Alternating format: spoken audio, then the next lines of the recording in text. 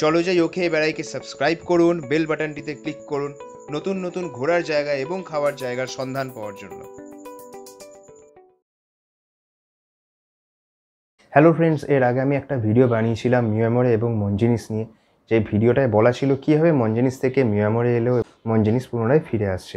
তো সেই ভিডিওটা দেখার পর অনেকেই আমার কাছে তোমরা প্রশ্ন করেছ যে কীভাবে আমি নতুন ফ্র্যাঞ্চাইজি নেব সেটা মিয়ামরের হোক অথবা মঞ্জিনিসের হোক।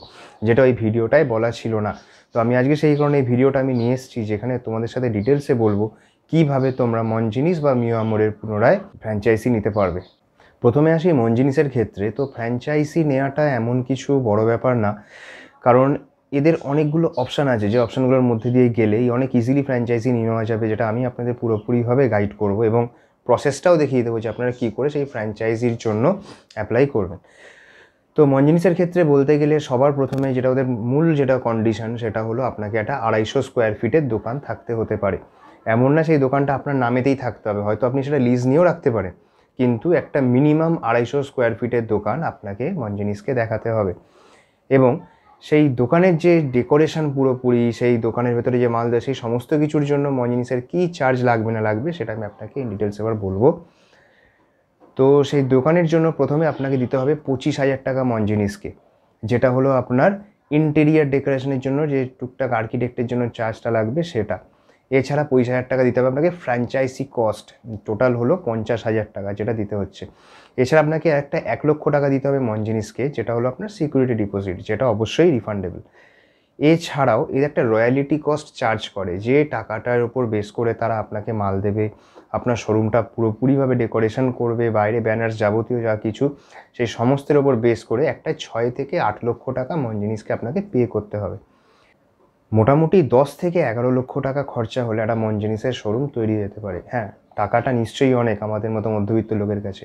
কিন্তু এটা মাথায় রাখতে হবে যে ব্র্যান্ডটা নিয়ে আপনি নামতে চলেছেন, যে ব্র্যান্ডটা নিয়ে আপনি বিজনেস করবেন বলে ঠিক করেছেন, সেই ব্র্যান্ডটা কিন্তু অলরেডি পপুলার একটা ব্র্যান্ড এমন না যে নতুন একটা ব্র্যান্ড নিয়ে আপনি মার্কেটে এসেছেন এবং সেটার জন্য আপনাকে মার্কেটে ঘুরে ঘুরে তার প্রমোশন করতে হচ্ছে।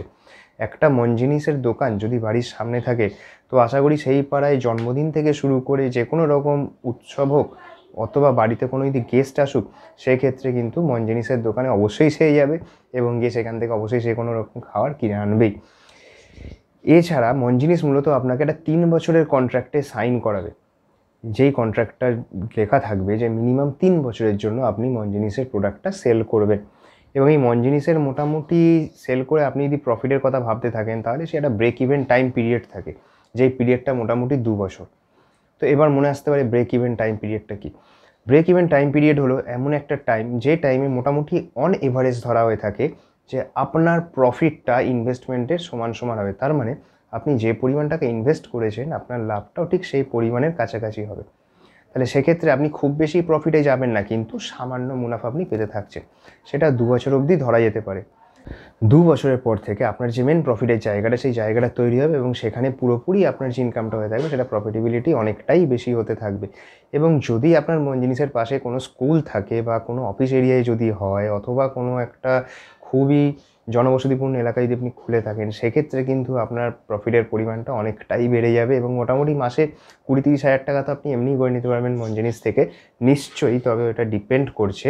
আপনার লোকেশানটার ওপর যে আপনি কিরম লোকেশানে নিচ্ছেন। হ্যাঁ এবং যদি নতুন কোনো জায়গাতে আপনি ব্রাঞ্চগুলো খোলেন, যেখানে ধরুন নতুন একটা সিটি তৈরি হচ্ছে, একটা কনস্ট্রাকশন এই যেমন নিউ টাউন রাজারহাটের মতো জায়গায়, যেখানে নতুন বিল্ডিং তৈরি হচ্ছে বা কিছু, সেই সমস্ত জায়গায় যদি আপনি এরকম ধরনের ব্রাঞ্চ খোলেন, তাহলে সেক্ষেত্রে কিন্তু অবশ্যই মাথায় রাখতে হবে আপনার সেলটা অনেকটাই বেশি হবে। কারণ এই মুহূর্তে ওই জায়গাটা ডেভেলপিং এখন অবধি পুরোপুরি কমপ্লিট হয়নি। তো প্রচুর লোক ওখানে এমন থাকে, নতুন লোকালিটি যেখানে লোকজন প্রচুর এরকম থাকে, যারা মেসে থাকছে, অথবা শুধুমাত্র চাকরির জন্য বা পড়াশোনার জন্য থাকে, সেসব জায়গায় কিন্তু এই মঞ্জিনিসের দোকান খুবই চলবে।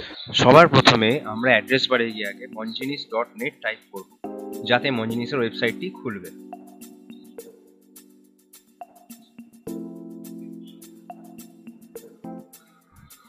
ওয়েবসাইটটা একবার পুরোটা আপনাদের দেখিয়ে দিই, দেখতে কেমন। এরপরে নিচে বাঁদিকে দেখুন, সব ফ্র্যাঞ্চাইজি অপশান আছে। ওটায় ক্লিক করলেই ফ্র্যাঞ্চাইজির পেজটা আপনাদের সামনে খুলবে। এবং সেখানে লেখাগুলো কি আছে ভালো করে একবার দেখে নেবেন।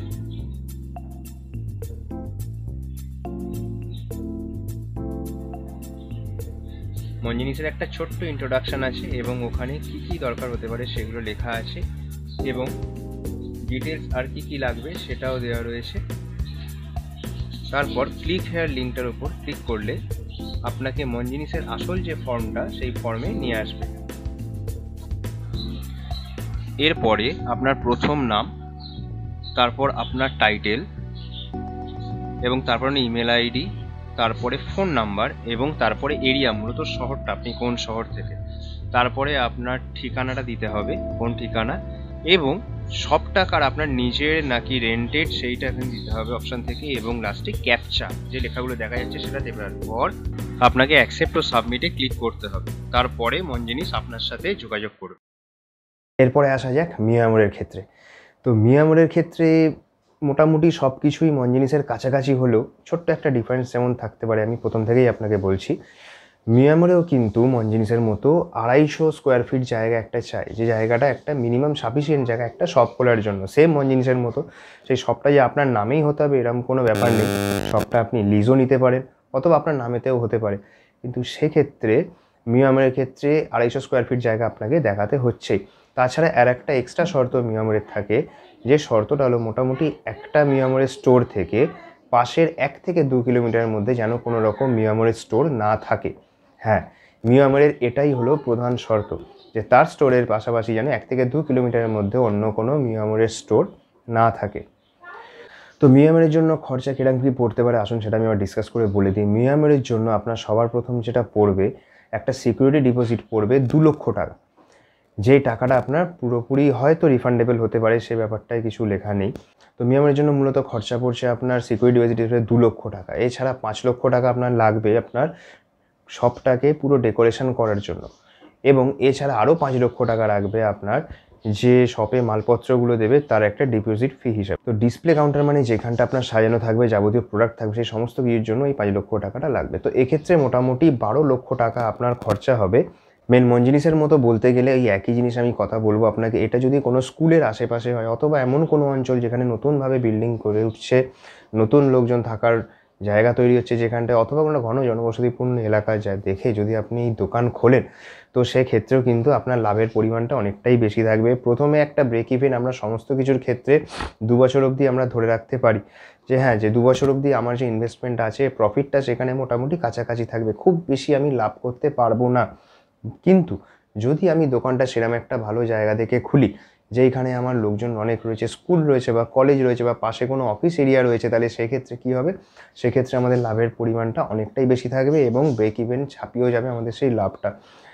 তবে অবশ্য মন জিনিসের নিয়মের ক্ষেত্রেও আমি ওয়েবসাইটে যাব। ওয়েবসাইটে গিয়ে আপনাকে আমি পুরোপুরি দেখাবো কীভাবে ফর্ম ফিল আপটা করবেন, কীভাবে প্রসিডিওরটা আছে। তো সেক্ষেত্রেও আমি আপনাদের পুরো ব্রিফটা দিয়ে দিয়ে আসো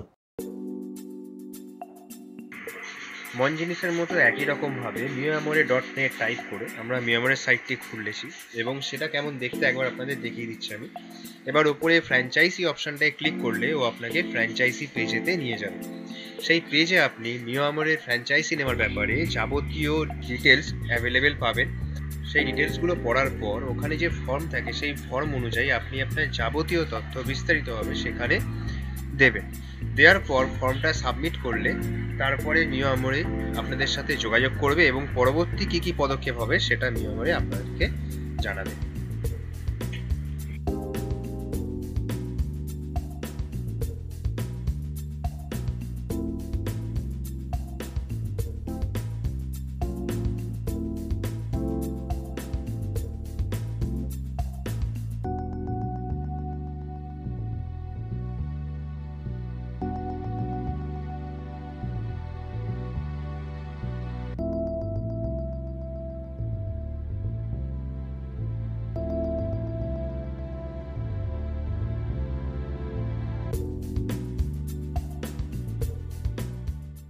মঞ্জিনিস হোক অথবা মিয়ামোরে হোক, দুটোর ক্ষেত্রেই মোটামুটি আপনার খরচা দাঁড়াচ্ছে দশ থেকে বারো লক্ষ টাকা। আশা করব এই কন্টেন্টটা আপনার ভালো লেগে থাকল। যদি এই ইনফরমেশনগুলো আপনার জন্য খুবই উপকারী হয়, তাহলে আমাদের চ্যানেলটিকে লাইক করুন সাবস্ক্রাইব করুন এবং বেল বাটনটিতে ক্লিক করুন, যার ফলে এরপরে নতুন নতুন ভিডিও আসলে আপনারা সেই আপডেটগুলো পেতে থাকেন তো আপাতত আসি। আপনার যদি এর উপরে কিছু জানার থাকে বা বলার থাকে, তাহলে নিচে কমেন্টে গিয়ে লিখুন, আমি অবশ্যই সেখানে রিপ্লাই দেবো। ততক্ষণ গুড বাই